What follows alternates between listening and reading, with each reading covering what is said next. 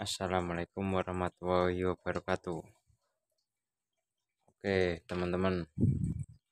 Kali ini saya akan berbagi pengalaman tentang ini mencetak slug ya.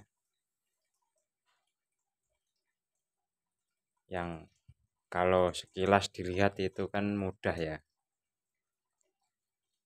Simple, praktis gitu ternyata pengalaman saya itu enggak segampang itu gitu. Makanya di sini saya ingin berbagi apa pengalaman soal cetak mencetak. Ya bisa juga dikarenakan alat saya yang kurang memadai bisa juga skill saya yang kurang pro juga bisa. Tapi menurut saya nggak gampang gitu. Ini ini adalah cetakan saya yang saya order kemarin. Belum saya review kemarin. Saya kelupaan bikin videonya ini tertera di sini 13 grain bahannya stainless. Ini tusuknya. Ini udah beberapa kali perubahan ya ini ya. Karena beda ukuran ini itu akurasinya beda.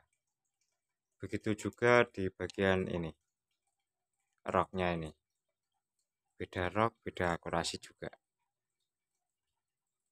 Makanya saya bilang enggak mudah itu kalau dilihat dari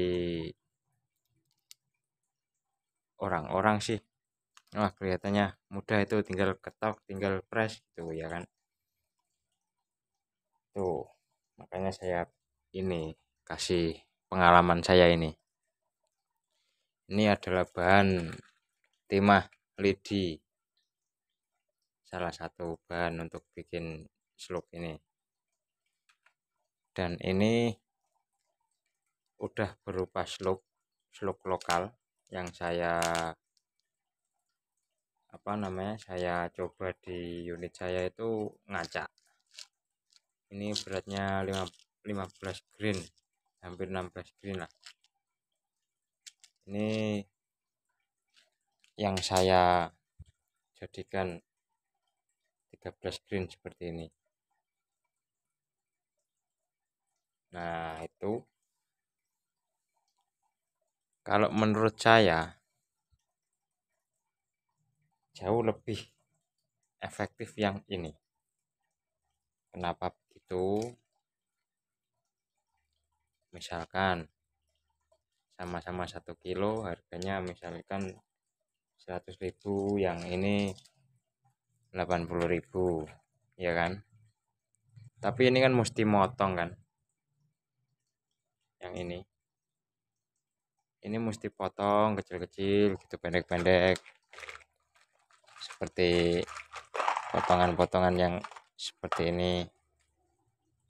Nah segini-gini ini kan ribet ya gak bisa cepat. Kalau yang ini kan udah jadi kita tinggal masukin cetak beres kan lebih cepat yang ini. Kalau untuk timah-timah yang lain nanti dulu ini yang saya bahas ini dulu. Dan untuk yang ini hasilnya itu lebih lebih apa namanya lebih presisi. Dari ujung lubang ekor ini sangat presisi ini. Terus beratnya juga selisihnya sedikit. Nanti kita coba timbang kalau yang ini itu ya itu tadi. Harus potong-potong kecil-kecil sekian sekian mili ukurannya. Terus kemudian masih kita tumbuk atau kita press itu masih ada sisa banyak itu bikin lama proses itu ini juga di bagian ujung ini agak ada apa namanya sedikit ada sisa-sisa gitu. Ya kalau nggak dipraktekin nggak bisa kali ya. Coba kita praktekin yang ini yang ini aja yang cepet ya. Oke saya skip dulu saya siapin. Oke kita praktekin ya. Ini pakai yang ini. Daur ulang ini yang slug yang nggak cocok di lar saya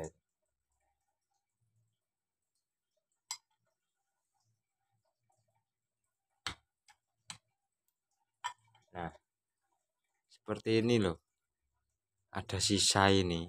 Ini kalau pakai yang ini kalau kita motongnya ukurannya kelebihan sedikit ini otomatis kan sisa yang di sini kan lebih banyak.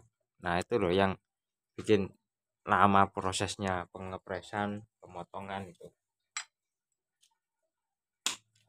Kalau sisa sedikit gini kan gampang. Kita tinggal press lagi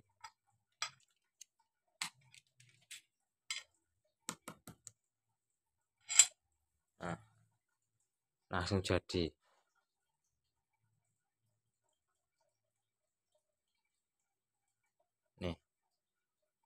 Langsung jadi.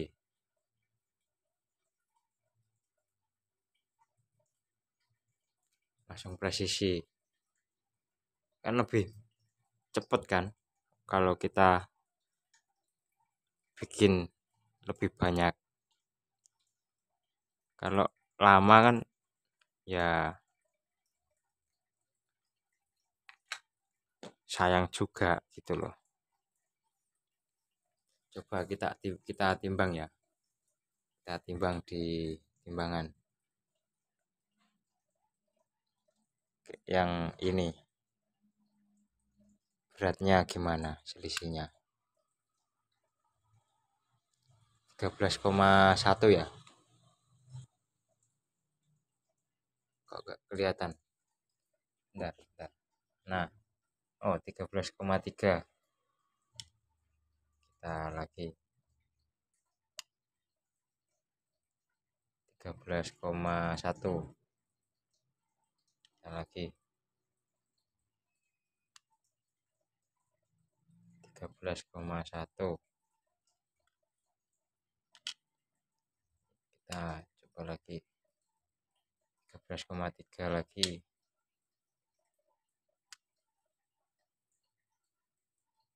13,3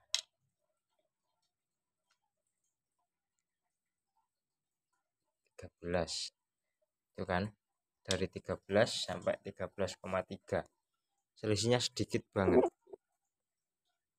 Ya udah cukup lah kalau untuk kelas-kelas peluru bikinan sendiri. Ya kan?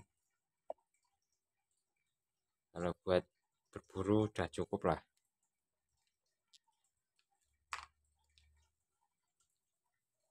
kalau yang ini tuh beratnya ya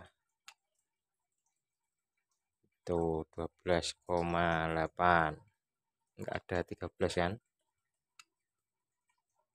Nih langsung ke 13 green.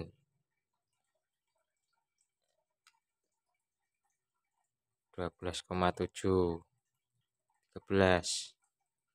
ya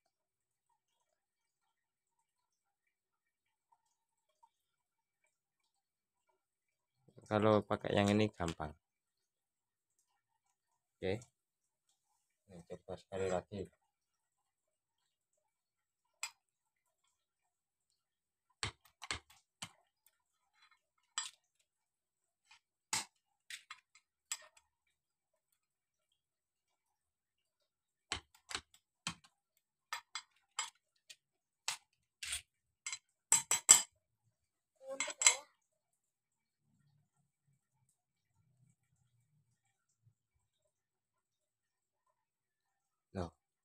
ya kan? Cepet kan? Nah.